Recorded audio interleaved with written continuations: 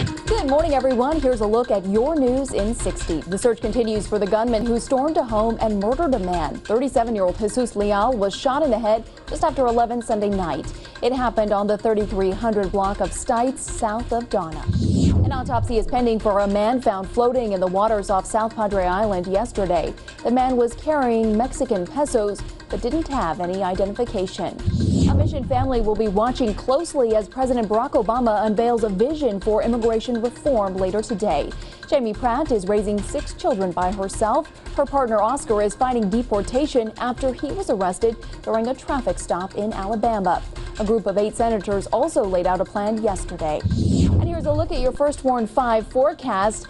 Ooh, with those record highs expected today, more than a few AC units will be going across the valley. Brownsville is getting ready to power and cool 100,000 homes in the future. City leaders and Tenaska Energy plan to build a power plant off FM 511 in the next three years. We hope you have a fantastic Tuesday.